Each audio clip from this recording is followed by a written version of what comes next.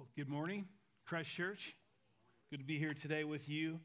Uh, super excited to be able to uh, serve you uh, by opening up God's Word today. If you're here for the first time, my name is Seth. I'm one of the pastors here, and I want to invite you to take your Bibles if you have them and uh, turn to Ephesians. We're going to be in the book of Ephesians this morning, Ephesians chapter 4.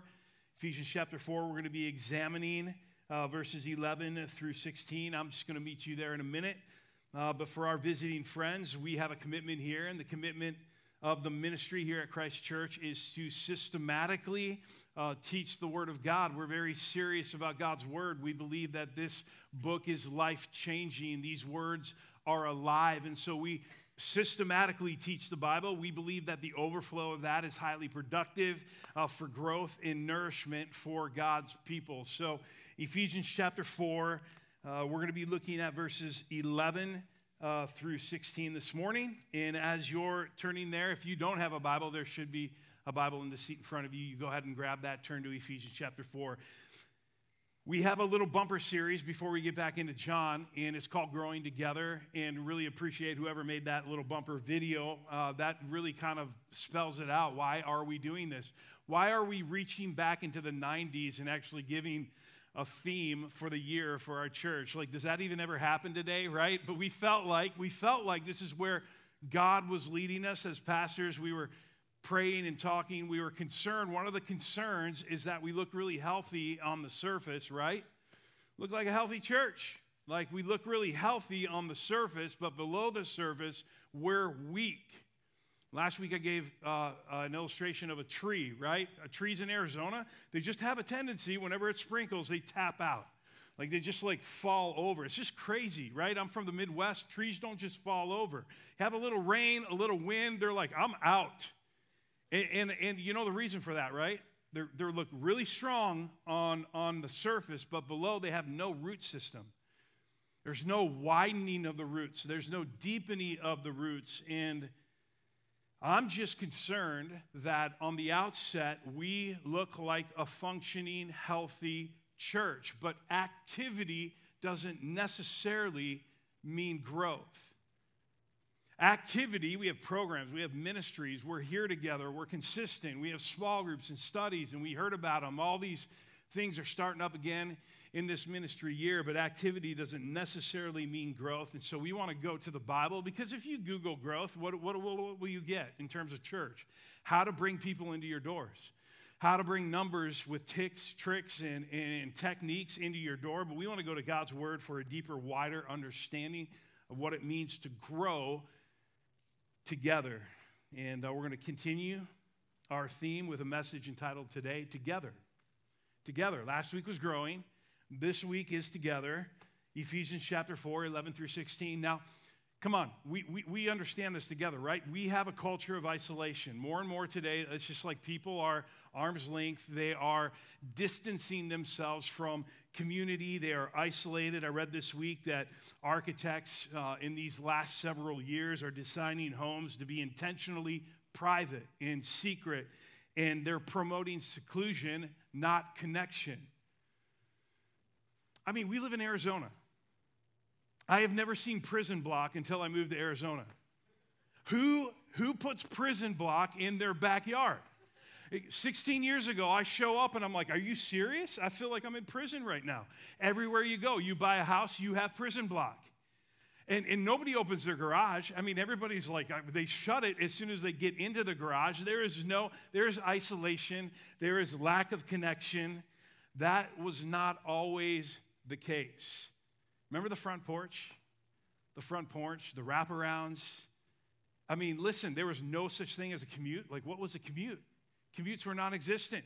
We had front porch. The front porch were like a barrier, right? It was the zone between public and private. Um, you, you, you would sit on your front porch and you would look at strangers walking by and actually have a conversation with them. They were allowed to come on your front porch, random people. It's like, hey, more the merrier. Here's a glass of lemonade. Like, th- that was the ideal of community in America. Now we have block walls.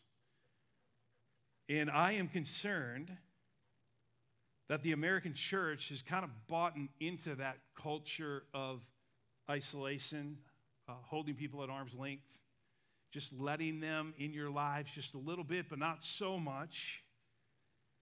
And after almost 25 years of ministry, I can't believe it. I was counting it this week. I was like, I almost been in ministry, full time ministry for 25 years. I could tell you that people change. People who change, people who develop real life patterns for growth, who become more and more and more mature as followers of Christ. I'm telling you, it doesn't happen with you building up a silo around your life. It doesn't happen in a silo, it doesn't happen in isolation. It happens in community. Now, some of you are like, well, I got, you know, listen, I just need my Bible open and my eyes upward. I got this me and Jesus thing figured out. That is not the full picture of growth. And where we are at this morning, what we're learning this morning from Ephesians 4 is that we cannot flourish spiritually without each other. It's part of the design for growth God wants us to embrace the people that He's put around and in our lives as a resource for change. So, Ephesians chapter 4, we're going to look at verse 11 through 16. We're going to do what we always do. I'm going to read it, and then we're going to take a few minutes and we're going to unpack its truth together. Paul says in verse 11, follow along with me if you have your Bibles. Paul says, and he gave the apostles, the prophets, the evangelists, the shepherds, and teachers to equip the saints for the work of ministry, for the building up of the body of Christ, until we attain to the unity of faith and of the knowledge of the Son of God, to mature manhood, to the measure of the stature of the fullness of Christ, so that, that's really important right there, that's a hinge, that's the purpose statement. Here it is. So that we may no longer be children tossed to and fro by the waves and carried about by every wind of doctrine, by human cunning, by craftiness and deceitful schemes. Rather, speaking the truth in love, we are to grow up in every way into Him who is the head, into Christ, from whom the whole body, joined and held together by every joint with which it is equipped, when each part is working properly, makes the body grow so that it builds itself up in love. That is the passage we're studying today together. I want to give you this big idea. I want to give you this big idea over the passage, but first I want to tell you we're going into a deep well, okay? For all you scholars out here who are going to critique the way I preach and what I mention and don't mention, we are diving into, listen, we are going to pull one bucket of fresh water out of a deep well. We can, I'm, I'm telling you, there's a thousand more where that came from. We can go down in this well. I could preach for the next 10 weeks on this passage, and we would never run out of water for our souls. I'm going to take one bucket this morning and I'm going to reach in. It's kind of like looking at a diamond, and we're going to study one facet of the diamond and we're going to learn together. The big idea this morning that we see from the text is this growing together requires active commitment to uniform convictions. You know I'm talking about? Active conviction to like constant convictions, unchanging unalterable convictions. That is how we grow together. Active commitment to these uh, specific biblical truths. And the together part depends on that. I mean, you can grow in some ways on your own, can't you? Uh, you can grow in some ways with active commitment to other biblical truths, but the specific biblical convictions that make it together is that we are, and, and this is what we're going to see in the text, we're the participant. Stability is the goal. Cooper- cooperation is, is the plan of God in order to see growth in our lives, in the life of this church. But, but I'll tell you first and foremost, that's not a given, isn't it? It's not a given. It's not a given. In fact, it's tragically uncommon to see a lack of growth in the life of the church. But in every church, and, and, and, by God's grace, we're, we're this church. But in every church where the gospel is preached and the word of God is honored, there is growth. And we're going to see this today growing together. This is the vision of Paul for the church of Ephesus that requires this active commitment to these specific truths. You're like, okay, what are they? We're going to look at three of them. I just mentioned them. We're going to look at the participants, the stability, and the cooperation. So the participants, we're it. The stability, that's the purpose. And the cooperation of our lives together is the plan. So let's look at those three. Here's the first one. Number one, growing together requires that, conviction number one, we are the participants. You and I. Like there's nobody, there's no bleachers. Wouldn't that be weird to go to a football game with no bleachers, right? There's no bleachers. There's no bleachers. Every single one of us are the participants. You fit in one of two categories. You're either the supply line or you're the front line, okay? But you're, you're one of those. You're a participant. You're either the sideline, I mean, I'm sorry, there's no sidelines. You're either, sorry, the supply line or you're the front line. Those are the two groups of participants. Let's look at the leaders. The leaders are the supply line. Paul says in verse 11, he says, and that's a conjunction, and that's pointing back to verses 7 and 8, where he says, where he says, he has given us gifts. Well, what gifts has he given us? He's given us leaders. He's given us gifts. Look at, and he gave the apostles, the prophets, the evangelists, the shepherds, and teachers. Now, depending on how you look at that, there are four to five categories of leadership. You have the apostles. Who are the apostles? Chosen by God, right? Chosen by God to be the foundation stones of the church, and, and as such, ceased to exist when the original apostles died. Somebody's like, There's no apostles today? There's no apostles today. It's like, how can you not believe in apostolic leadership if we don't have apostolic leadership? This is what some people say. Uh, we're vulnerable to corruption. No, no, no, listen, listen, listen. I believe in apostolic leadership. We've got some serious apostolic leadership. We've got Paul. We've got this guy named Peter. And we got John. We got Thomas, Matthew, Bartholomew, and all the other dudes who died, right? Who God used as a foundation stone for the church, but they all have died. But we're hearing their words because most of them, right, had a, had a part in writing God's words down. That is the apostles. There's no apostles today. The apostles were the disciples of Jesus in the early church that God used as an instrument to grow and build his church. Alongside it, look at what we have. We have prophets. Now, prophets, this is big P prophet, okay? This is linked with the apostles, and among other things, what did prophets do? They wrote down the words of God, they wrote down the Bible, and since the Bible is complete, guess what? In that sense, there are no big P prophets today. So we have two offices or categories that has they've they've see, they're ceased to exist. They they've they're gone, right? They're here. We have the words of that ministry, of their ministry right here. But then there's a couple others. Look at we have the evangelists. We just call those guys church planners, right? Like they just they're the guys who develop new churches. And then we have preacher and teacher. A lot of scholars would say those are two different categories. I really believe that Paul links both terms together. So he has both nouns describe one office, both nouns describe one person. We might say it like pastor, teacher. You got the apostles, you got the prophets, you got the evangelists. These are the leaders of the church. And you got the pastor, teacher. That's the supply line.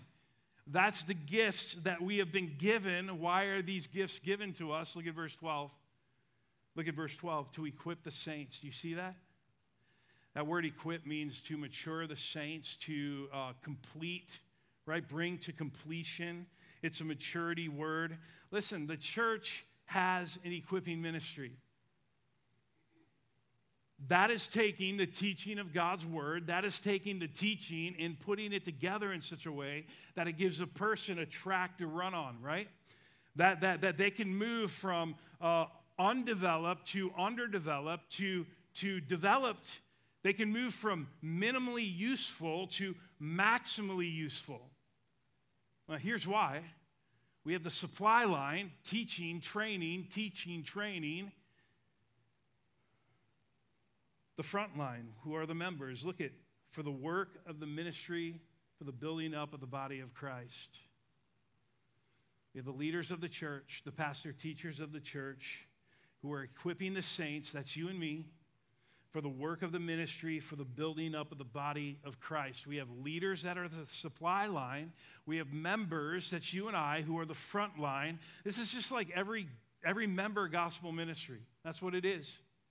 It's a collective endeavor. Remember 1 Corinthians 12, right? We all have gifts. We're all members of one body. And if we don't, if, if that's lacking, that's hard, that's, that's, that, that's harsh on the body. Each person plays a, plays a role in advancing God's people to the maturity of his son. A lot of times, uh, we don't do this as much anymore, but when the kids were growing up, Lori would set up a table in the living room and they do it randomly. I always just part, I just observe because I'm impatient. But they take those thousand piece puzzles and they put them together. It's like, are you kidding me? I, I, I try a couple and I'm like, I'm out of here. Uh, this is not working. But they, they do that and they're really good at that, especially my wife and my daughter, Macy. And there are the couple times where they would try to do that and they get to the end of the puzzle and you know what I'm going to say. The, Where's the last piece? I mean, that defeats the whole progress, doesn't it? It's like I just worked on this thing for a week and I can't find the last piece. Probably our dog Bodie ate it. That's probably what happened. Like, translate that to the body of Christ, right? We're all members, we're all participants. Every part is essential. You're either the supply line or you're the front line. But with every individual piece, guess what? We're stronger. And that's the real ministry that Paul is talking about. Let me get super practical with you. It's like two moms. We have moms in here, raise your hand. Like it's like two moms. Instead of competition and comparison, they're, they're going to love each other. They're going to help each other. They're going to they're going to pour into each other. They're going to live in humility with each other, alongside each other. It's, it's the young boy refusing to join in with his friends in unwholesome words that for a cheap laugh. Instead, they're going to use words that build up. It's that nine to fiver every single week, 40 hours a week, just plugging in numbers into a spreadsheet as an act of devotion. This is every member ministry. It's the husband just laboring and toiling and working hard to love his wife in such a way that she grows up into Christ, even as he overlooks her unfair criticism of him. It's the, it's the wife choosing to honor her husband when he doesn't deserve it, and where there's a temptation and an opportunity to speak disrespectfully about him. It's, uh, it looks like inviting people actually over to your house for dinner instead of like Pita Jungle, Jungle or, or Grimaldi's. It's like you actually are going to come over to my house and we're going to hang out and you're going to live in my place and we're going to fellowship together and it's reaching out to a neighbor it's sending an email to a discouraged brother. This is the real ministry that Paul is talking about. And, and none of these, of course, look glamorous. But this is the way we minister, this is the way we participate. I'm either the supply line or I'm the front line. And our ability together to minister like this is rooted in our identity. Back up to verse 7 and 8. And our identity is given to us by grace. We're participants by grace. We embrace our identity by grace. If you see a need, you fill it in the grace of Jesus Christ. This is the conviction. We're talking about uniform convictions that result in growth together. Here's the second one growing together requires that stability is the purpose. So there's a goal, there's an aim.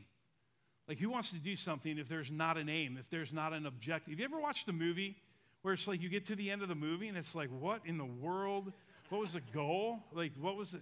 There wasn't even any plot. It's like a waste of two hours. Can I get that two hours back, right? There's a goal in our growing together, and it's stability. Paul says in verse 13, until we all attain the unity of the faith, these are the infinitives, right? Unity of the faith, the knowledge of the Son. You see that? Mature manhood to the measure the, of the stature of the fullness of Christ. All those help us get to a place of stability. Look at verse 14. So that, this is the purpose statement, we may no longer be children, tossed to and fro by the waves, carried about by every wind of doctrine, by human cunning, by craftiness in deceitful schemes. So that, in other words, right, so that when the waves hit, we won't get washed out to sea. So that when the wind blows of doctrines, we won't be carried along by those doctrines and the schemes and the tactics of the enemy. That's not what's going to happen. Instead, I'm going to choose to stay on course in the gospel until I see my Savior face to face and maturity comes to its fullness. So, how is that going to be produced? How is that stability going to pre- be uh, produced? How is that standing firm in the faith going to be cultivated? Here's how. There's those three things I mentioned right before, before verse 14. One is unity. You see it? we attain to the unity of the faith. God wants a mature, working, serving, unified church. How many churches are just known for fractions and strife and division? Like, I grew up in a really small church in rural, like rural church. And I mean, they would have church splits for the craziest, like when PowerPoint came out, remember that? It's like half the church is like, oh, we're giving in to Satan, you know, and then they just went and planted another church. It's like, are you kidding me? This is the world. The world is known for division. The world is known for strife and envy. God wants a mature, unified church. Every member being built up. There's a growing oneness. Heartbreaking uh, when there isn't a maturing process that allows the church to become stable, but is instead fractured and disconnected. I mean, what a tragic witness to the world. What a tragedy.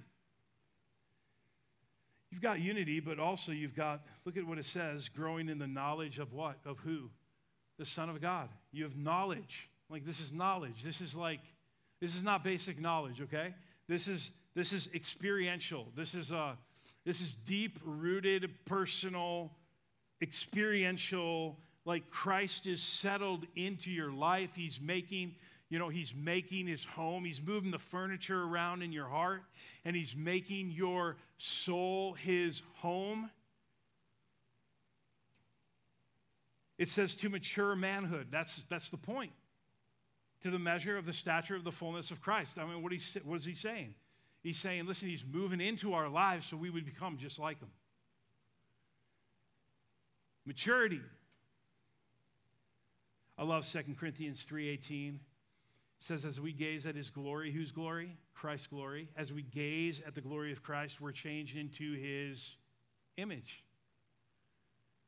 The deeper our knowledge of Christ, the more, comp- more we comprehend who he is, the more we're transformed into his very image. Now, those descriptors or infinitives in verse 13, that's what it means to be a person of stability. And the question is, is are these things actually working themselves out in your life? Can you actually say, I'm a person of stability in my faith? I'm not crumbling every time there's a circumstance. Can you actually say, like, I'm growing up in my faith, in unity and knowledge and maturity, so that we may know, look at what it says, so that we may no longer be children. Now, there's a bunch of implications here. I want to give you two. You see that in verse 14, so that we no longer may be children, which means that once we were. Basic knowledge, folks. Like that's how it starts, right? We're born, we're born as an infant, as a child, but we grow up into adulthood, and the same is spiritually. Now, you think about a, a an infant, you think about a child, I mean, children are, are fickle, aren't they?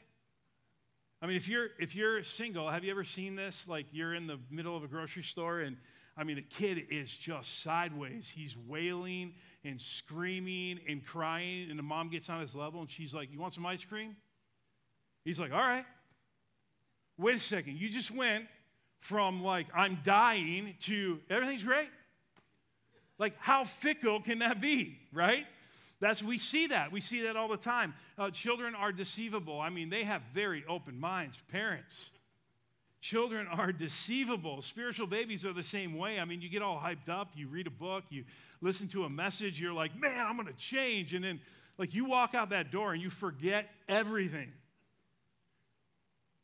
You're like, God answered my prayer. He loves me. And three days later, God didn't answer my prayer. I don't think He loves me. We're so fickle. We're so deceived. We just zip around like that as infants, right? We just zip around like that as spiritual infants. Not a lot of stability. That's how it starts. Here's another one we're impatient. Um, infants are very, they don't understand patience. Like, they, they, they, there's no concept of delayed gratification. They want muscles like right now. Like, in a spiritual sense, they want some gym candy, right?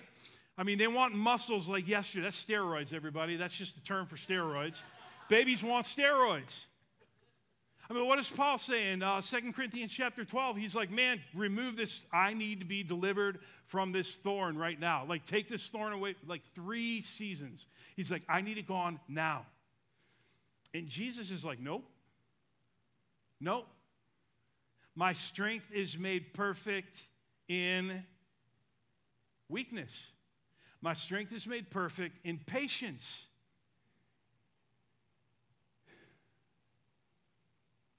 I mean, if you go to the gym, like, so I lift, uh, I try to stay in shape. I know it doesn't look like it, but it could look a lot worse, I'm telling you. And, uh, and I, I, don't know about you, but I, I, hurt my back right at the beginning of the summer. I took the summer off. I, I just started lifting again this week. And um, notice I didn't say cardio. I just started lifting again this week. And um, are, it's just so discouraging, right? You get back and it's like, you usually feel weaker before you feel stronger. That's just the way it goes. You feel you always feel like you're getting weaker, but really little by little you're getting strong. But it's just going to take a long time. It's just going to take a while. It's going to be a process. Babies don't like that. They're not into the long game. And spiritually speaking, babies aren't into the long game. You start out that way, but listen, listen, you start out as a child, but you don't stay a child. You grow up. It takes time.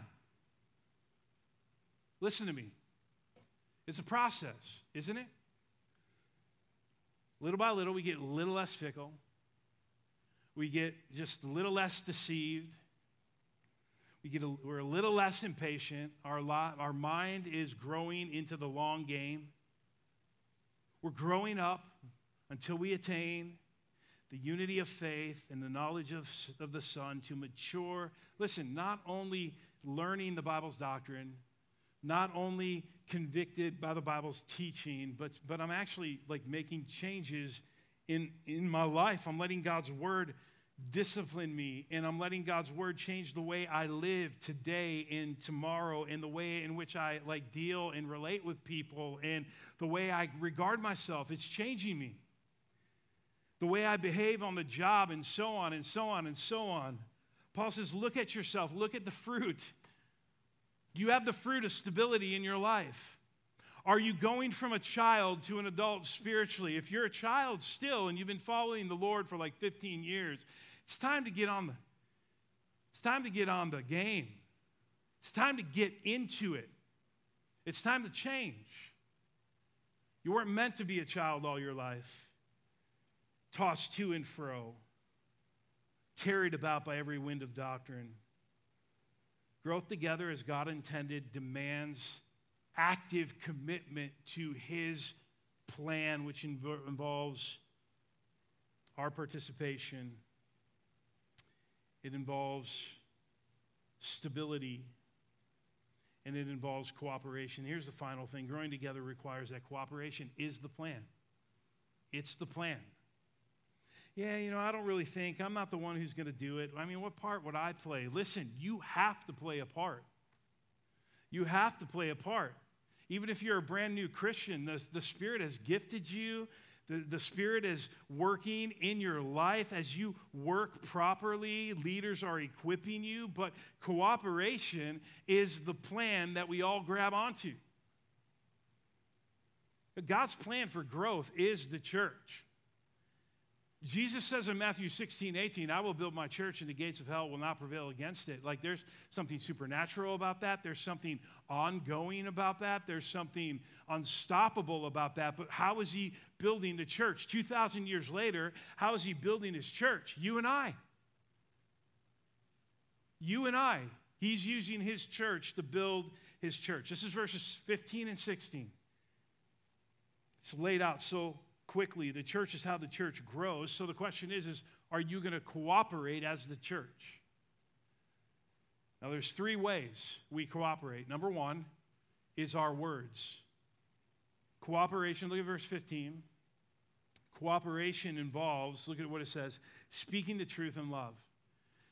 Now remember, I'm just grabbing a bucket, okay? There's a thousand more buckets I can grab. There's a deep well, but I'm just grabbing a bucket. And so I could we could spend a long time on this, but I, I don't have time. We don't have the time to spend. But speaking the truth in love is so important. Speaking the truth in love means absolute honesty, but an honesty that is kind and humble and saturated with grace and mercy in love. And, and, and guess what? We need that more than we need anything else. We need to be that in a person's life, and we need a person to be that in our lives. This mixture, this perfect balance of truth and love together, because on their own, they're deadly. Okay? Love without truth, man, that is, that is a train wreck. Well, I love people, but I don't want to tell them the truth because I don't want to hurt them. Bad plan. Bad plan. Hey, listen, we all have blind spots, right? I mean, you guys have blind spots. I see them every week when I'm up here. I'm kidding. That was a joke. You can laugh at me. I have blind spots, but I can't see. You can't see your blind spots. I can't see my blind spots. I've, I've, I've told this illustration so many times, but it works so well. I mean, the reason why, when you see yourself or hear yourself on a recording, that it makes you want to gag um, is because actually you don't really hear yourself. I don't know if you've ever heard yourself on a recording. It's like, who is that? And all your friends are like, uh, dude, it's you. That's you. No, seriously, that's you. I'm speaking to you right now, and I, I sound pretty mellifluent. I mean, I I sound pretty good. How come when I press play on YouTube, I shut it off in embarrassment and I curl up in a fetal position? I'll tell you why. It's because I don't hear myself like you hear me. I actually don't hear myself through my ears. I hear myself through two bones in my head, which makes my voice sound richer and more fluent. And you hear the real thing. You're like, how does that translate? If you live in a place where people love you and will not tell you the truth about yourself, you will have no self knowledge. You will not see what they see. You will not grow. You need accountability in your life. You need people to love you enough to tell you the truth, but not just tell you the truth, right? Love without truth is deadly, but truth without love is just as deadly. When you tell people the truth, but you're harsh and mean and you're like a cold fish, you think people are going to hear you? Remember what Paul says in 1 Corinthians 13? He's like, You can have the tongues of angels. It's like, that would be, hey, I have a job where I speak for a living. I would love that. You, you can have the tongue of an angel, but without love, you're just noise. You're just a, banging gong. Who wants who likes banging gongs? How annoying is that, right? But that's what you are without love. You can you can you can tell the truth till the cows come home, my grandpa used to say. But you're just noise if it's without love. We need to be plunged into a community filled with speaking the truth, but speaking the truth in love. Here's another one. Our cooperation not only involves that, but it involves our Christ centeredness. He says we're to grow up in every way into Him who is the head, into Christ. You see it? That's Christ centeredness. I mean, this is a process. Have you ever seen, a 13 year old boy? He's like five five, and his feet are like 15. I mean, it's like he, here's this little kid. He looks normal, and then you look down at his feet, and they're like boats. They're like he's got like size 20. And what do we say? He's a biggin. He's just got to grow into his puppy claws, right? He's a biggin. He's just got to grow into his feet. We, listen, as Christians, we're like that. We're like the five, five, you know, like, like, listen, here, honestly, we have far bigger feet than that, okay? If you could imagine seeing somebody walk around in size 32 shoes and them being about three and a half feet tall, that's what we look like to God. We have huge feet. We have been born again. We've been adopted, the Bible says. We have the Spirit of God who brought us into the family of God. We have the Spirit of power. We have the Spirit of wisdom and understanding and might, and all of that is in you. All of that, all that potential, all that potential, all of that is for you. You're just supposed to grow up in it. Supposed to grow into your feet. Listen, we need your growth. We need your Christ centeredness. We need your truth and love. We need it desperately. We're not as good without it. You got to cooperate. And then finally, just our engagement. We have our speaking to truth and love, our words, our Christ centeredness, and then just our engagement. From whom the whole body joined and held together by every joint with which it is equipped when each part is working properly. Look at what it says makes the body grow. The body makes the body growth so that it builds itself up in love. What is he saying? He's saying basically spiritual growth is basically uh, parallel to organic growth. We have input, we have output. We eat, but we exercise. Right? There are people who say, well, you know, I just want some input. I just need to be built up. I just need somebody to come up and minister to me and, and, and give some input to me. Well, listen, there's some seasons of input for sure, but overall, the way in which someone grows spiritually is through input and output. A person who is just coming to church and sitting and soaking and not doing and not helping and not ministering and not working and not putting out but just taking in is somebody who says like hey listen i want to be great physical shape but i don't want to exercise can't be done there's got to be a balance between the input and the output. There's got to be a balance between the exercise, which is the burning of calories, and the taking on of calories. If you burn them and not take anything in, that's called burnout.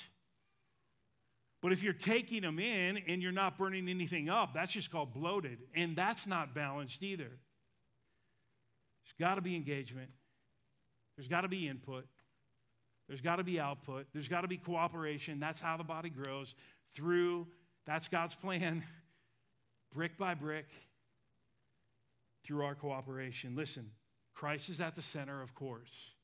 The Spirit is empowering it, of course. But it is the church that is act. Listen, without the church working properly together, there is no growth. So you have the participants, You've got the supply line in the front line, the leaders and the people. You have the purpose. The purpose is for, the goal is for, the aim, the objective is stability through maturity in doctrine and in life, so that we are not tossed to and fro by every wind of doctrine. You have the plan, everyone, every one of us cooperating together for God's plan for growth. Now, let's live this out, okay? We just learned a bunch of stuff. But let's live it out. I got three exhortations and we're done. Number one, join in, okay? Join in. Join in, for some of you, means believe the gospel. You've been, you've been, you've been living your own life. You have been earning or trying to earn favor with God, the Bible says that you cannot earn favor with God. You cannot live up to God's standard. The Bible says that Jesus came down and he lived the life we can never live and did not live, and he died the death we deserved to die. And he rose from the dead and our enemies and our sin. And whoever is willing to surrender to him as Lord and King receives eternal life. Join in. That's good news, amen? Believe the gospel, join in. Some of you are like, um, some of you is just join in be a part of this family. You're like, I'm a part of this family. Are you? You come once in a while. You'll join a study here or there. You'll serve if somebody twists your arm hard enough, but you're not connected. You're not really joined in. You come once or twice a month. You've got this whole Jesus and me thing figured out. You're, this is not a rebuke, by the way. this is an encouragement, okay? You've got the whole arm length thing going on. Don't do that.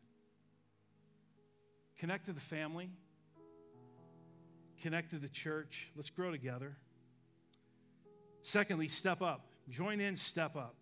Like this is this is from non-participation to participation for some of you. Some of you it's from participation to more participation.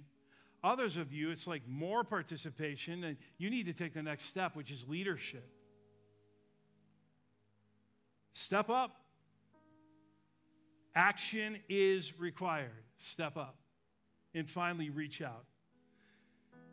Like I'm not I'm not I'm not down on marketing plans. I'm fine with branding. It's fine. Whatever. At the end of the day, I don't care.